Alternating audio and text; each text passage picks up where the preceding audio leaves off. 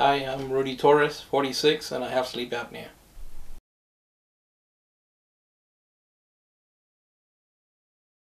I honestly have no clue. I have no idea what it is. I know it's a sleep disease.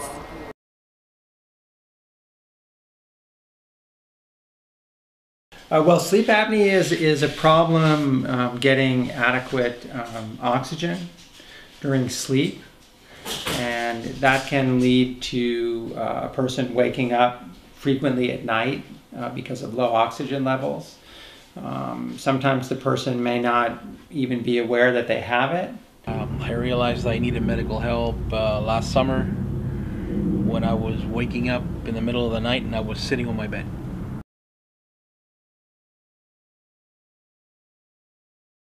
Usually, it's it's less common. Certainly, is in children, and as you get older, it becomes it becomes more and more of a problem. And probably the usual age um, that we would see somebody with that is is probably in their 40s or 50s. Serious enough to where I sleep with it every night. Because he was very specific. He said, if you don't use this, you're going to die. Might, again, have excessive fatigue during the day. That would be a very common uh, problem. Uh, whoever, if, if somebody is seeing them uh, sleep at night, they may know, they may tell the person that they're waking up a lot or that they're snoring a lot. Yeah, very tired, very sleepy. Well, short term, again, you can have uh, a lot of problems with concentration, fatigue. Uh, it can lead to problems with uh, diet, mood. So it can really have a major effect on your life in the short term. And then if, if you don't get treatment for it, all of those problems can get worse as you get even older, and it can lead to other things like diabetes and heart disease and high blood pressure. Uh, the only way to treat sleep apnea is with the CPAP machine. CPAP um, basically allows you to breathe at night. It forces air through your nose, and uh, it if you use it consistently, it solves the problem 100%. And basically, the thing turns on by itself at 10 o'clock, and you sleep the whole night through, and it records your breathing and your uh, sleep processes. So it's actually pretty simple.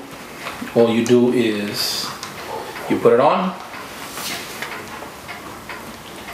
It's got an on switch turn the switch on and automatically it's already set to your pressure, your uh, temperature requirements. So you just put it on and sleep.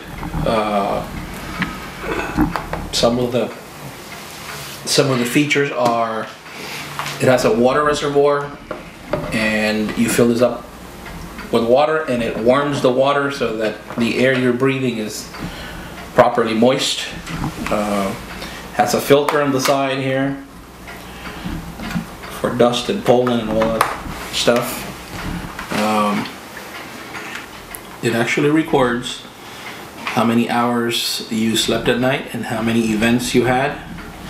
Uh, this one is showing 0.3, so that's less than one event per hour. Uh, quite an improvement from 120 some times I used to stop breathing an hour. Um, shows the mask seal if it's leaking, the humidifier if it's working, and then it also shows how many times you used it in the month, in a 30 day uh, period, how many hours per night you used it, and how many hours total uh, you used it in a month. So basically that's that's it. Uh, they are set to each individual's pressure needs so when you get the machine, somebody sets it up for you. And that is basically it. It's pretty simple, pretty quiet. You don't wake up the neighbors with this like the old machines used to. Never had a problem with it. I tried it the first night and my sleeping was so bad that it was the best thing since sliced bread. They absolutely need to get it diagnosed because uh, 60% of all strokes are believed to be caused by sleep apnea, and 50% of all heart disease comes from that condition. Okay.